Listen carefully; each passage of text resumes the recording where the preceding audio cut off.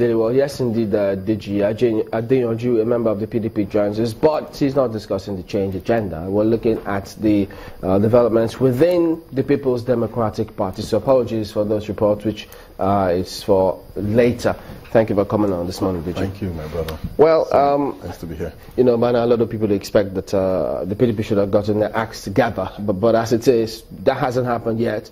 Um, excuse me, the, uh, the uh, other faction, I mean, there are two now, whichever way you look at it. Uh, we have Sheriff, we have Makarfi. Sheriff lately rejected that BOT move to yeah. ensure that they have uh, what the convention, yeah. spite of all that seems to be happening. Yeah. Is this really even going to be sorted, or this? Is, it looks as if look, this may just continue until the elections. Well, I, Deji Adeyanju, I want to make uh, something very categorically clear. I, Deji Adeyanju, I stand with the board of trustees of our great party. I stand with our governors forum. I stand with our members of our national assembly, the caucus of our national assembly, and I stand with the generality of the of party members, you know, across the country, who are the conscience of the party. You know, yes, you know, there, there is no faction in the party, you know, as per se. What we have is because we can see that the BOT, the Board of Trustees is one, you know, the, the Caucus of National Assembly is one, the NEC is one, you know, and the Governors Forum is one. What we have is just um, a disagreement on a chairmanship of the party. And as such, you know, we, we might have made a mistake, but we see a situation where members from outside are now capitalizing on our mistakes, and they are not, they are not getting in directly involved you know, in the activities of the party. And they are now dictating the tone of what is going on within our, our party. You know, many of us, the younger generation, are calling on founding, founding fathers of the party, you know, who, you know, have ideals about the party, who knows the ideals of the party, to set up a committee to help resolve this issue. Because, like you, we agree with, with me that this crisis is affecting even the government because we need a viable opposition. You know, to even when gov- governments are doing so well, we still need a viable opposition. And uh, unlike now that the government does not even seem to, you know, to, to have gotten its acts together, you know, and all well, that. Uh, before you uh, go ahead and talk about why you can't provide credible opposition, what is going to happen? If Sheriff is insisting that look, it's either they do what he says, or you keep at this division. You see, uh, Senator Ali Modu Sheriff, he went to see former, our former president, who, who some of us refer to Baba, you know, and in, uh, in Ota. And what a young person like me, and, you know, because we are the new face, face of the party, what we expected Baba Obasanjo to have done is to talk to Sheriff, no matter how angry former President Obasanjo is with the party. Maybe, maybe he felt that the party was. But what capacity is he going to do that? No, well, you see, the party has done so much for the former president. So much for the former president. It's just like when you have a wife and you divorce the wife and you have children with the wife. You don't now say because you now hate the woman, you forget your children. You know, so the party, President, former President Obasanjo should like be like he should treat the party like his children.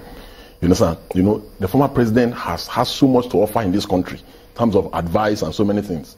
And what we, the younger ones, were thinking was that, you know, the former president, instead of some of the utterances he made that that Sheriff should help in supervising the burial of the party. We just felt that even our former governors who left our party, this party has done so much for all of us, for everybody. But did we you, feel, you know feel, as much? This is politics. It's, it's politics. It's, it's, politics. Yes, I agree.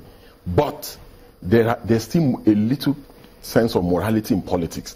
That is what makes it, us. Is there? Yes, there is. In Nigerian because, politics. Because there, there's, there's honor among thieves. You know, so that's what makes us to always have this thing that we, it's about service. It's about trying to make a difference. The reason why you see a sheriff is trying to say he's chairman. Service to who? To the, the, the position they occupy? See, you see, the reason why a sheriff, the reason why I believe, in my own belief, and that's why I'm, I'm against those who insult or criticize sheriff, you know, and, and, and do it in, in a way that demean him. In, he, in his own capacity, Senator Ali Modu Sheriff feels that he has he wants to offer something great for, to the party. And that's why he's insisting as chairman. You know, so what we expect our founding fathers to do is to set up a committee. People like Obasanjo, they don't necessarily have to be in the party. Of what benefit will it be to President, former President Obasanjo if PDP dies? We all need a credible and viable opposition in this country. And that's what your party and, ha- hasn't been able to, and, to, offer. And the problem that Obas, former President Obasanjo had was with the former president. President Goodluck Jonathan is no longer president.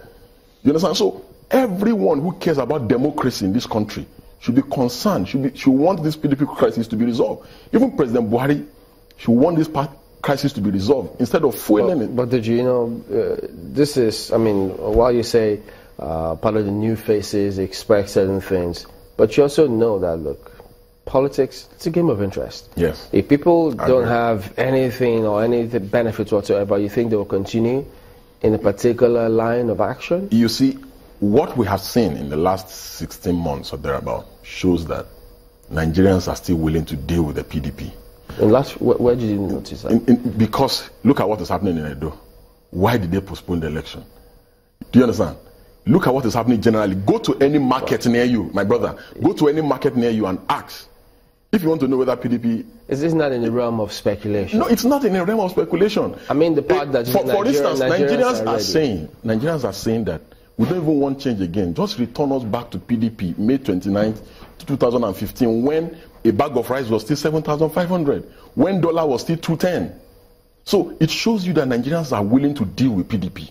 So what we need to do as a party is to get our acts, you know, together let the founding fathers know, come in. You know, Mr. Adeyanju, listening to you, I, I think, uh, I hope that so many PDP members are on the same page as you because uh, you just painted a picture of the PDP that gives uh, almost uh, a seeming uh, easy problems with the PDP because you said the BOT, the chairman, I mean, uh, the, the governors, governors forum and uh, the board of trustees, everyone is on the same page that the only issue that's uh, the crux of the matter now has to do with the chairmanship of the PDP. Yes.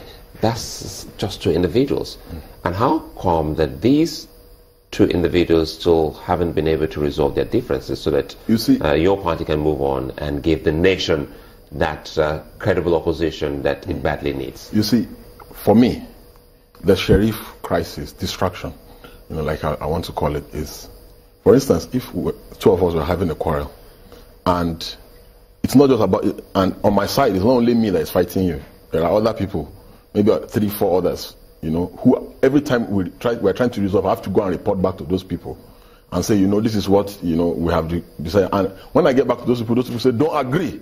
Don't agree. Go back and give new terms. You know, it's, and that's why I said at the beginning that this crisis that we are having, is we, yes, we made a mistake. We might have made a mistake, but others from outside are now capitalizing on the mistake that we made, and they are now directly, indirectly getting involved in trying to crush the PDP. Isn't that the name of the game? Well, that is the name of the game. But in whose interest? That's why I brought the issue of Baba into the issue. In whose interest is it for for PDP to die? In, is it in the interest of democracy? Do you think he has what it takes to resolve this for the party?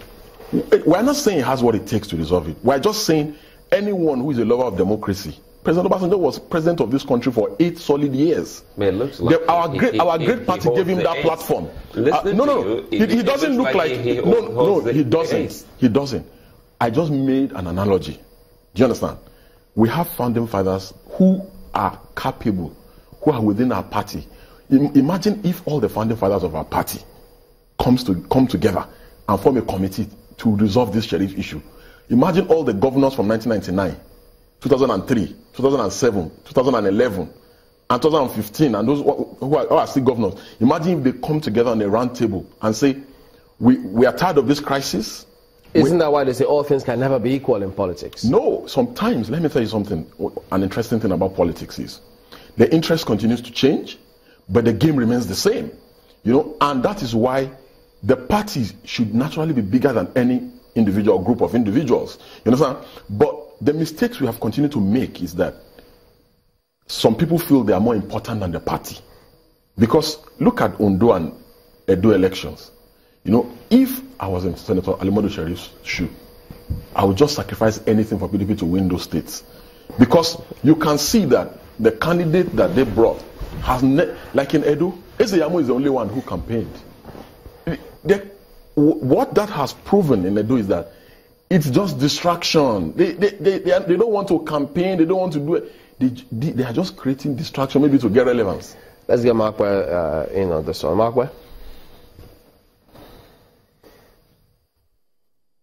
Odeji, it's definitely good to see you this morning. Um, Markway, same here. To you. Uh, just wondering if this is all about viable opposition. Why does it have to be within the platform of the PDP? Because some people will say that if you know there is so much rancor it, and the majority of people can form a new party, Yes. why is that so difficult to do? Yeah, you see, uh, Maokwe, I agree with you in, uh, to a certain degree, but let me tell you, one of the challenges of forming a new party is this. You see, if a new party is to come now, you know, they will still want to bring this mantra of change. Nigerians don't want to hear change at all. They don't because if you go to say market in Abuja and you talk change, people are so angry. You know, if you go to the Bureau de Change and you talk, even the people who are selling, you know, uh, the Bureau de Change operators, if you go and tell them change, they're angry. You know, so a new party will bring change to the table. Nigerians don't want change. We have seen that Nigerians are still willing to deal with the PDP. You know, so but there will still so- be an election. yeah, of course. But let me tell you, the, the, a new party. You know, some, so many people are considering the option of a new party. But like, I can tell you that a new party will not be the best option. If PDP can get its crisis resolved and its house in, in order, you know, it will be better for PDP to resolve this crisis And, ahead of. and if they don't, Well, or if, can't? if if they don't, and if they can't, because this crisis will linger on, and you can be rest assured that this present government, they will continue to fund the crisis. They will even they might even get court judgments to favor the crisis, you know, so that they can superintend the extinction of the party.